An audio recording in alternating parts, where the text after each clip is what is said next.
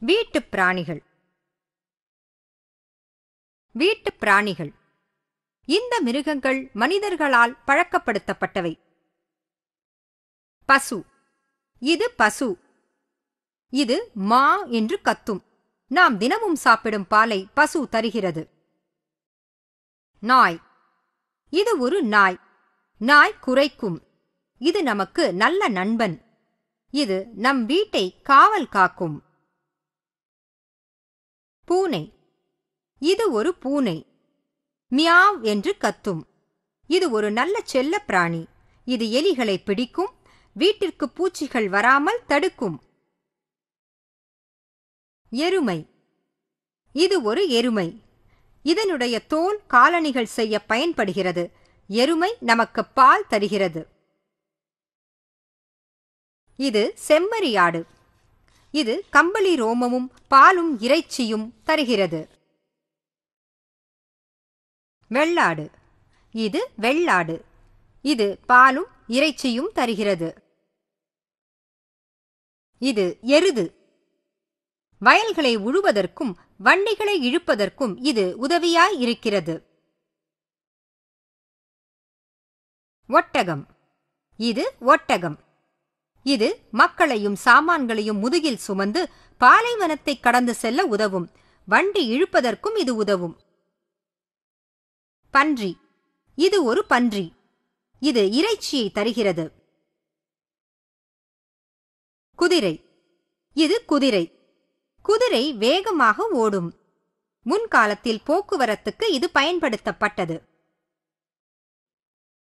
வன விலங்குகள் வௌவால். இது ஒரு வௌவால். பறக்கும் பாலூட்டி இது ஒன்றுதான். இதை இரவில் நாம் பார்க்கலாம். முயல். இதுதான் முயல். புல் விதைகள் வேர்கள் குச்சிகள் ஆகியவற்றை முயல் சாப்பிடும். இது மிக வேகமாக ஓடும். யானை. இது ஒரு யானை. நிலத்தில் வாழும் ஒரு பெரிய மிருகம். இது தாவரங்களை உண்ணும். பெரிய தும்பிக்கையும் இரண்டு தந்தங்களும் இதற்கு உண்டு. புலி. இது ஒரு புலி. பூனை வகையைச் சேர்ந்த பெரிய ஆபத்தான மிருகம் இது. இதன் உடம்பின் மீது கருப்பு வரிகள் இருக்கின்றன. சிங்கம். இது சிங்கம். இது காட்டு ராஜா என்று அழைக்கப்படுகிறது. இது மற்ற மிருகங்களை கொன்று தின்று வாழ்கிறது. நீர் யானை. இது நீர் யானை. ஹிப்போபட்டாமஸ் என்று அழைக்கப்படுவதன் பொருள் நீர் குதிரை என்பதாகும். இந்த நீர் யானை பெருமளவு நேரம் ஆற்று நீரிலேயே இருக்கும். அது மாலையிலும் இரவிலும் புல்லை தின்பதற்காக நிலத்திற்கு வரும். இதற்கு மிக நீண்ட பற்கள் இருக்கின்றன. இது தந்தம் என்றும் அழைக்கப்படும். காண்டா மிருகம். இதுதான் காண்டா மிருகம். இது தாவரங்களை உண்ணும். இதற்கு குட்டையான வலிமையான கொம்பு மூக்கின் மேல் உள்ளது. சில காண்டா மிருகங்களுக்கு ஒரு கொம்பு இருக்கும்.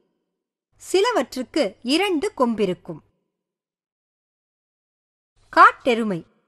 இதுதான் காட்டெருமை. உலகிலேயே மிகப்பெரிய காட்டெருமை இது. இது இந்திய காடுகளில் வாழ்கிறது. இதற்கு கூரிய கொம்புகள் உள்ளன. நரி. இதுதான் நரி. இது சிறிய பிராணிகளை வேட்டையாடி தின்னும். தந்திரசாலி மிருகம் இது. ஓநாய். இதுதான் ஓநாய். இது பார்ப்பதற்கு பெரிய நாயைப் போல் இருக்கும். இவை கூட்டமாக வேட்டையாடும். இது ஊளையிடும். கழுதை புலி இதுதான் கழுதை புலி இது பெரிய நாயைப் போல் இருக்கும். காட்டில் இறந்து கிடக்கும் மிருகங்களை தேடி சாப்பிடும். கீரி. இதுதான் கீரி. இது சிறிய எலி போன்ற மிருகங்களையும் பாம்பு பூச்சிகளையும் பிடிக்கும். கீரி பாம்பு சண்டையை பற்றி நீங்கள் கேள்விப்பட்டிருக்கிறீர்களா? இது பாம்புடன் சண்டையிடும். ஆனால் பெரும்பாலும் இதுதான் ஜெயிக்கும். சிறுத்தை. இதுதான் சிறுத்தை. அதன் உடம்பின் மீது கரும் புள்ளிகள் இருக்கும். இது நன்றாக வேட்டையாடும். இது மிகவும் பலம் வாய்ந்த மிருகம். இதன் உடல் எடையை விட அதிகமான இரையை மரத்தின் மீது தூக்கிச் செல்லும். இதன் உடம்பின் மீது கரும்புள்ளிகள் இருக்கும். உலகிலேயே மிக வேகமாக ஓடக்கூடிய மிருகம் இது. இரையை பிடிக்க இது மிக வேகமாக ஓடும். காட்டுப்பன்றி. இது காட்டுப்பன்றி. இதன் வாயின் இருபுறமும் இரு நீண்ட தந்தங்கள் உள்ளன. இது பன்றி வகையைச் சேர்ந்தது. வால் இல்லா பெரிய குரங்கு. இது மனிதர்களைப் போன்றது. இது மிகவும் புத்திசாலியான மிருகம். நம்மைப் போன்றே அது கருவிகளை பயன்படுத்துகிறது. மனிதக் குரங்கு. இதுதான் மனிதக் குரங்கு. குரங்கினத்தில் மிகப்பெரிய உருவம் உடையது இது. இது மிகவும் புத்திசாலியான மிருகம். இது தாவரங்களை மட்டுமே உண்ணும். குரங்கு. இது ஒரு குரங்கு. குரங்குகள் விளையாட்டுத்தனம் அதிகம் உள்ளவை. குறும்புத்தனம் நிறைந்தவை. அவை பழங்கள் இலைகள் பூக்கள் குருத்துகள் விதைகள் ஆகியவற்றை சாப்பிடும். சில வகையான குரங்குகள் முட்டை பூச்சிகள் சிலந்திகள் ஆகியவற்றை சாப்பிடும். கங்காரு. இது கங்காரு. இது ஆஸ்திரேலியாவில் வாழ்கிறது. இது ஆஸ்திரேலியாவின் தேசிய விலங்கு. தன் குழந்தையை சுமந்து செல்வதற்கு அதன் வயிற்றின் பகுதியில் ஒரு பை இருக்கிறது. கோலா. இதுதான் கோலா. கரடியைப் போன்ற மிருகம் இது. இது ஆஸ்திரேலியாவில் மட்டும்தான் காணப்படுகிறது. யூக்கலிப்டஸ் இலைகளை மட்டுமே இது உண்ணும். பிளாட்டிபஸ். இதுதான் பிளாட்டிபஸ். இது ஒரு பாலூட்டி.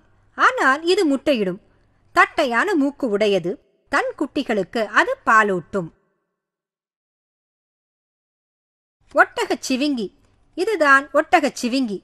இது உலகிலேயே மிக உயரமான மிருகம். இது ஆப்பிரிக்காவில் வாழ்கிறது. நீர்வாழ் பிராணிகள். திமிங்கிலம். இது நீலத் திமிங்கிலம். இது உலகிலேயே மிகப்பெரிய பாலூட்டி. இது பெரும்பாலும் இறால் போன்ற சிறிய வகை மீன்களை சாப்பிடும். ஓங்கில். இது மிகவும் நட்புக்குரியது மிகவும் புத்திசாலியானது சிறிய மீன்களை இது சாப்பிடும். இது கடலில் வாழும் சில வகையான டால்பின்கள் பெரிய ஆறுகளில் வாழும். ஆர்கா எனும் கொல்லும் திமிங்கிலம்.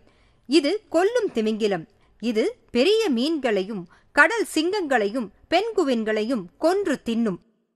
இதுவும் ஒரு பாலூட்டிதான். இது குட்டி போடும். கடற்பசு இது கடற்பசு மிகவும் அமைதியான மிருகம். இரண்டு நீண்ட கூரிய கொம்புகள் உள்ள இது வடதுருவ பகுதிகளில் வாழ்கிறது. கடல் சிங்கம். இதுதான் கடல் சிங்கம். இது உண்மையில் ஒரு சீல் சிங்கம் போன்ற பிடரி மயிர் இதற்கு உள்ளது. கடல் யானை. இதுதான் கடல் யானை. இது தென் துருவ பகுதிகளில் வாழ்கிறது. இது பெரிய உருவம் கொண்டது. லெப்பட் சீல் இதுதான் லெப்பட் சீல் இது மிகவும் சீற்றமுடையது. இது பெண்குவின்களை பிடித்து சாப்பிடும். நீர்நாய். இதுதான் நீர் நாய் இது ஆறுகளில் வாழும்.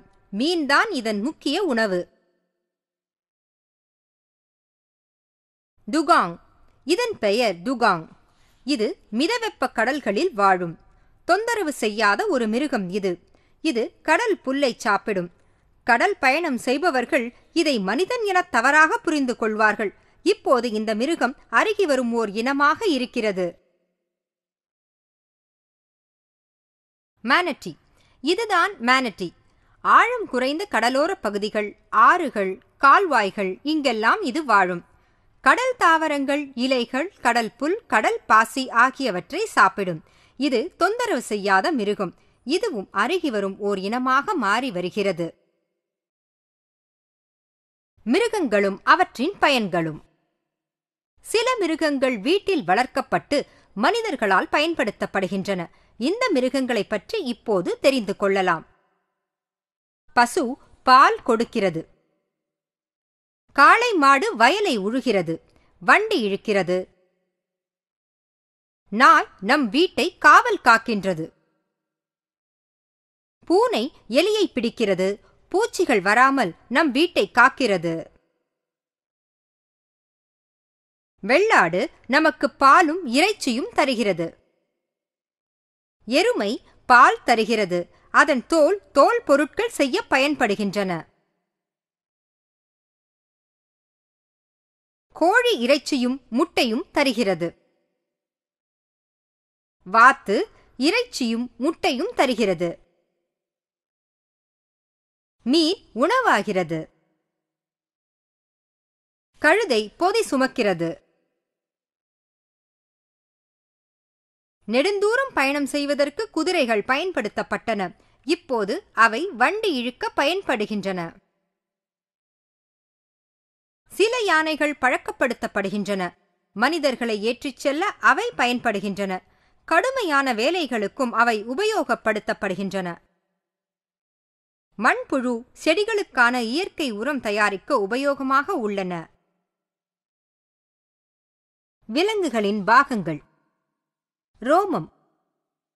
பாலூட்டிகளின் தோலின் மீது படர்ந்திருப்பதுதான் ரோமம். இது பாதம். நாலு கால் பாலூட்டிகளின் மென்மையான காலடிதான் பாதமாகும். அதில் நகங்கள் இருக்கும். கூர்நகப் பாதம். காலிலோ கையிலோ வளைந்து நுனி கூராக இருக்கும் நகம் கிளா எனப்படுகிறது. இவை பாலூட்டிகள் பறவைகள் சில ஊர்வனவற்றில் காணப்படும். கொம்பு. விலங்குகளின் தலை மீது கூறாக வளர்வதுதான் கொம்பு. கடினமாக முளைத்து எழுவதும் கூட கொம்பு என்றே கூறப்படுகிறது. இவை ஆண்ட்லஸ் மான்களின் தலை மீது கொம்பு போல் வளர்ந்திருக்கும் இவை ஆண்ட்லஸ் எனப்படுகின்றன. இது வால். நிறைய பிராணிகளுக்கு வால் இருக்கிறது. இது தும்பிக்கை. யானைக்கு தும்பிக்கை இருக்கிறது. அது கை போல வேலை செய்கிறது. இவை தந்தங்கள். யானைக்கும் வேறு சில விலங்குகளுக்கும் தந்தங்கள் உள்ளன. இதுதான் குழம்பு. குதிரைகள் மான்கள் ஆடுகள் பன்றிகள் போன்ற மிருகங்களுக்கு குழம்பு இருக்கிறது. இது மீசை முடி. நிறைய மிருகங்களுக்கு இந்த முடி இருக்கிறது. இவை உணரும் உறுப்பாக செயல்படுகின்றன. மிருகங்களும் மிருகக் குட்டிகளும். பசுவின் குட்டி கன்று எனப்படுகிறது. சிங்கத்தின் குட்டி சிங்கக்குட்டி எனப்படுகிறது. குதிரையின் குட்டி குதிரைக்குட்டி எனப்படுகிறது. கோழியின் குஞ்சு கோழிக்குஞ்சு எனப்படுகிறது. முயலின் குட்டி முயல் குட்டி எனப்படுகிறது. பன்றியின் குட்டி பன்றிக் குட்டி எனப்படுகிறது. வாத்தின் குஞ்சு வாத்துக் குஞ்சு எனப்படுகிறது. செம்மறியாட்டின் குட்டி செம்மறியாட்டு குட்டி எனப்படுகிறது. வெள்ளாட்டின் குட்டி வெள்ளாட்டு குட்டி எனப்படுகிறது. நரியின் குட்டி நரிக்குட்டி எனப்படுகிறது. பூனையின் குட்டி பூனைக்குட்டி எனப்படுகிறது. நாயின் குட்டி நாய்க்குட்டி எனப்படுகிறது. கழுதையின் குட்டி கழுதைக்குட்டி எனப்படுகிறது. மானின் குட்டி மான் குட்டி எனப்படுகிறது. கங்காருவின் குட்டி கங்காரு குட்டி எனப்படுகிறது.